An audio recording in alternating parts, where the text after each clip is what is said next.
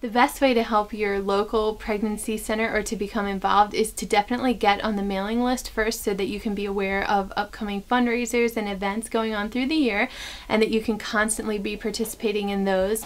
Also, you can host a diaper drive or um, a shower for the women.